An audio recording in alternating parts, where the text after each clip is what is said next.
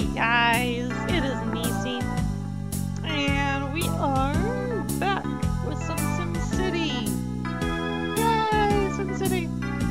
So, uh, we're here at the Jorn Hill again, and we have about 13,000 people, and I don't remember what I was trying to do. So, I think what we're gonna do here in the end is we're just going to save up some cash. I think that's what we're gonna do. So, I know I just jumped right back in, but uh, I'm gonna go ahead and save up some cash, and when I have some more caches, I will be back.